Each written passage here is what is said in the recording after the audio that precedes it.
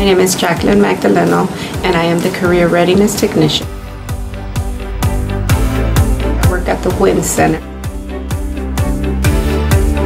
My favorite part of my job would be interacting with the students and getting to help them with uh, anything that they may need to be career ready.